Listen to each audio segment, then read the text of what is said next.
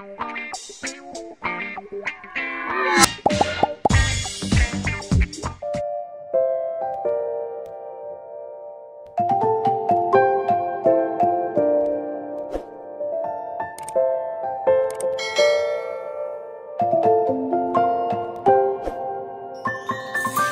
many places still undiscovered, but you're stuck in a just for the moment that is not coming.